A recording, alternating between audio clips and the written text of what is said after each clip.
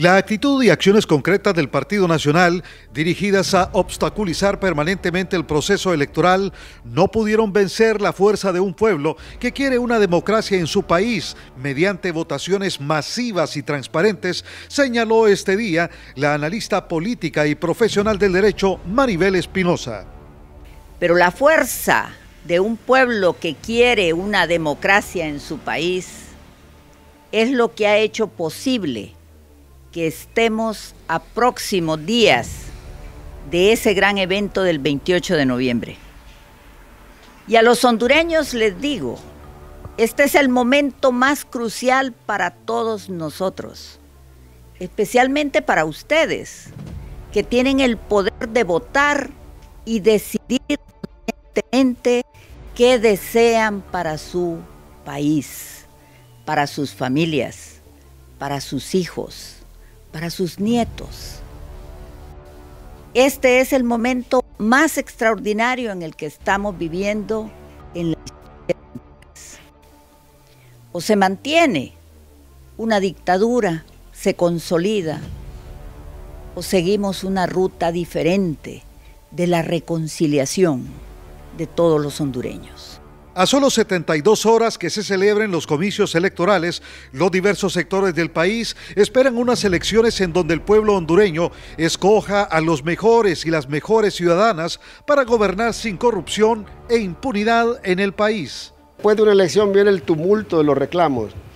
Si sobrevivimos el tumulto de los reclamos, eh, pasaremos entonces a que se establezca el nuevo Congreso de la República. Y una vez que se instale ese Congreso, ahí eh, eh, comenzaremos a ver el rumbo que va a tomar el país.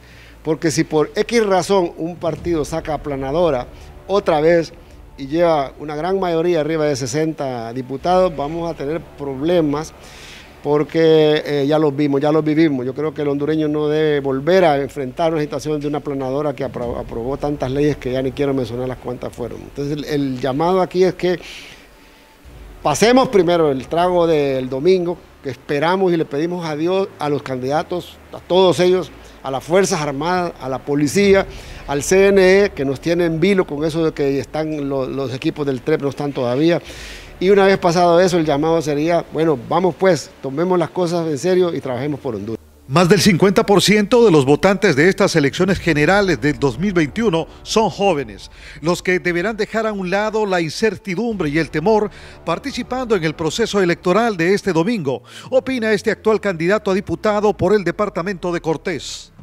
Sí, tenemos una gran responsabilidad con nuestra patria. Hay que cumplir con ese deber cívico de ir a votar. Se los pido eh, y los incito a que vayan a votar masivamente. Si por algún caso ustedes quieren quedarse en casa, vayan, voten temprano. Si quieren salir por la tarde, vayan, voten temprano. Y si ustedes tienen algo que hacer en la mañana, entonces voten en la tarde. Pero sí cumplan con su deber cívico por su país y por ustedes mismos. Esta va a ser una gran fiesta. Véanle el lado positivo, realmente, aunque han habido pequeños incidentes, eh, eso no va a impedir que nosotros cumplamos con nuestra obligación y que hagamos un cambio de gobierno que este país lo necesita.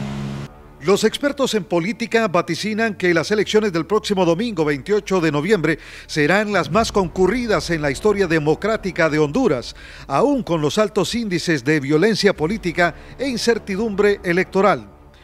Pedro González, UNE Noticias.